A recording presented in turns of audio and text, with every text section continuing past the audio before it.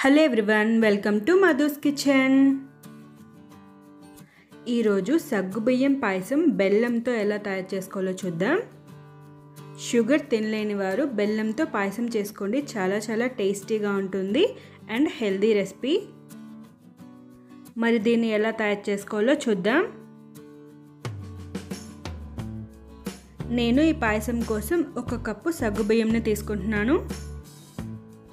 ఈ సగ్గుబియ్యంని ఒక రెండు గంటల పాటు నానపెట్టుకోవాలి. ఈ విధంగా రెండు గంటలు నానపెట్టుకోవడం వల్ల పది నిమిషాల్లో ఈ సగ్గుబియ్యం ఉడికిపోతాయి.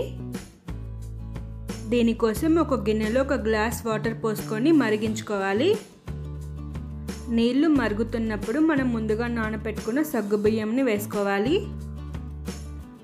ఈ పాయసంని మీడియం ఫ్లేమ్లో పెట్టుకొని చేసుకోవాలి. దీంట్లో మరొక గ్లాస్ వాటర్ పోసుకోవాలి.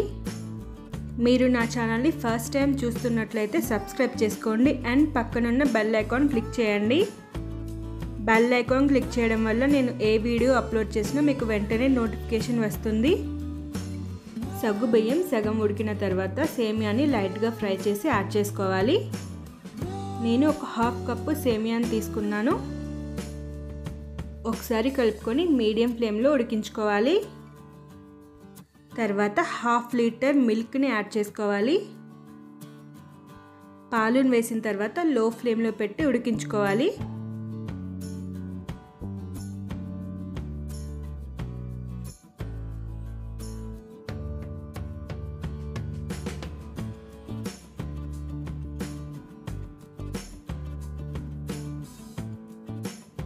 పాయసం చిక్కగా అనిపిస్తే ఒక హాఫ్ గ్లాస్ వాటర్ కానీ పాలు కానీ యాడ్ చేసుకోండి.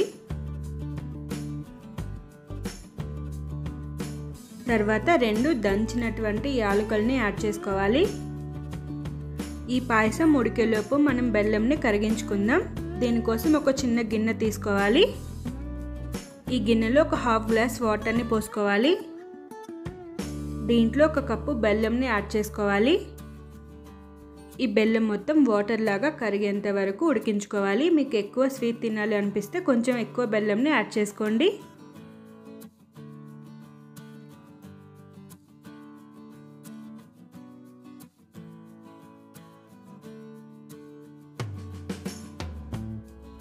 ఈ పాయసం ఇప్పుడు పర్ఫెక్ట్గా ఉడికింది. ఇప్పుడు స్టవ్ని ఆఫ్ చేసుకోవాలి.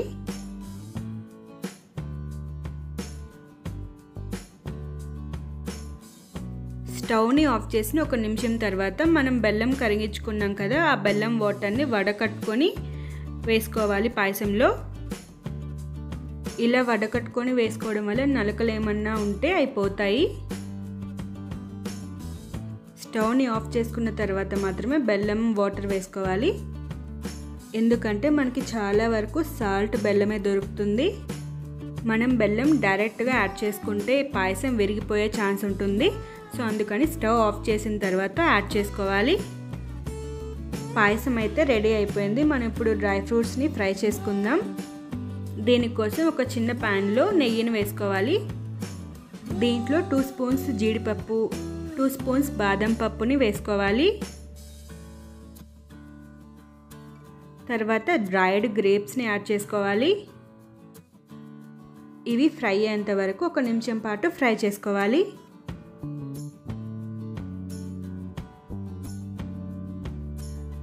ఇప్పుడు వీటిని పాయసంలో యాడ్ చేసుకుందాం.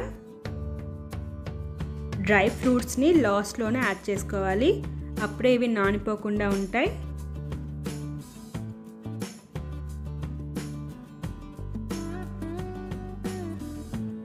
సో చూసారు కదా బెల్లంతో సగ్గుబియ్యం పాయసం ఎలా తయారు చేసుకోవాలో? పాయసం షుగర్తోనే కాకుండా బెల్లంతో కూడా చాలా చాలా బాగుంటుంది. మీరు తప్పకుండా ట్రై చేయండి. ఈ పాయసం వేడిగా అయినా బాగుంటుంది చల్లారిన తర్వాత కూడా చాలా బాగుంటుంది. మీరు తప్పకుండా ట్రై చేయండి.